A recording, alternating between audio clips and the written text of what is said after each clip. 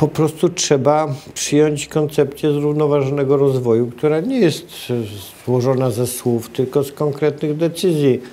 Polska dzięki środkom europejskim, ale także przy dobrej polityce dzięki środkom własnym dysponuje pewnym zasobem inwestycyjnym, pewnym zasobem, którym można różnie rozdysponować, którym można różnie gospodarować. No, w tej koncepcji, którą my przedstawiliśmy i realizowaliśmy, mm, to ten podział miał być nastawiony przede wszystkim na wyrównanie szans. No, w tej chwili jest koncepcja, która jawnie mówi, że tak być nie powinno, bo w Hiszpanii jest kilka takich wielkich ośrodków, Madryt, Barcelona, Sevilla, inne się nie rozwijają i w Polsce powinno być podobnie. Otóż my odpowiadamy, dlaczego w Polsce powinno być podobnie. No, Polska ma zupełnie inną tradycję, ma właśnie tradycję takiego dość równego rozłożenia.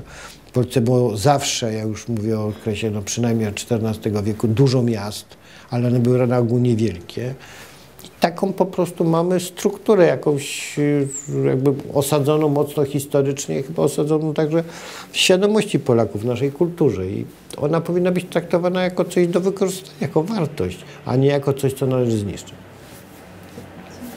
Ale konkretnie to są Panie redaktor, po prostu pieniądze, no tu się nie ma co oszukiwać. No, po prostu my te pieniądze, których jest naprawdę sporo, jeżeli się tym dobrze gospodaruje, chcemy wykorzystywać w ten sposób, żeby swój przedział miał także i Olkusz i żeby te miejsca, o których wiem, że się słabo rozwijają, że są kłopoty, że jest bezrobocie, że jest fatalny stan służby zdrowia, no, były wspierane. Oczywiście do tego dochodzą te problemy odnoszące się do poszczególnych działów. No, my uważamy, że te akty prywatyzacji, które i tutaj przecież mają nastąpić, są planowane, jeżeli chodzi o służby zdrowia, są bezsensowne. Ja jeszcze dzisiaj będę o tym mówił na spotkaniu, jak to wygląda na przykładzie Mazowsza, bo akurat dobrze znam, czym się kierują ci, którzy rozdają pieniądze i co to ma wspólnego z interesami pacjentów, bo przecież powinni się kierować interesami pacjentów, naprawdę kierują się zupełnie innymi względami. Krótko mówiąc, to wszystko można zmienić. Można zmienić w Polsce politykę, można zmienić typ człowieka, który jest przy władzy na różnych szczeblach, który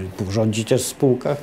To jest kwestia mm, tego, czy zwycięży w końcu ta część społeczeństwa, która ceni sobie uczciwość, ceni sobie to, to wszystko, co jest wspólnotą, to, co jest wartością wspólną, patriotyzm, czy też no, ta, która poza własną kiesą niczego sobie nie ceni.